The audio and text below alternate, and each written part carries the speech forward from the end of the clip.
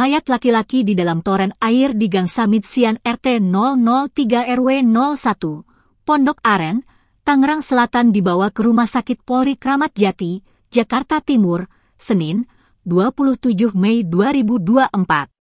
Mayat yang sudah dibungkus rapih di dalam kantong jenazah bertuliskan BPBD, dibawa dengan menggunakan mobil ambulans hitam berplat B1169WR.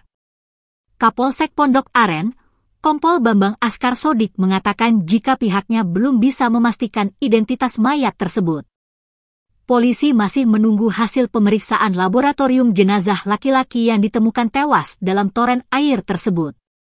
Jenazah dilakukan proses evakuasi ke RS Polri Kramat Jati untuk dilakukan otopsi, ujar Bambang. Kata Bambang, langkah evakuasi harus dilakukan untuk mengetahui identitas dan penyebab kematian.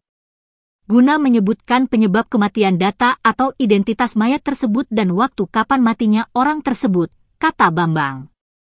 Terkait identitas mayat, Bambang akan menyampaikannya setelah hasil dari tim forensik RS Polri Kramat Jati, Jakarta Timur sudah dikeluarkan.